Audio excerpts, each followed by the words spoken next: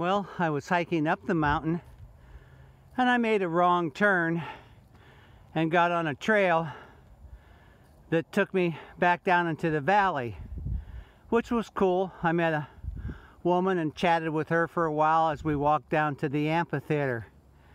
Hey, check out that cactus over there by the on the right hand side of the trail. I better go see what that's all about. You know me, I love my cactus.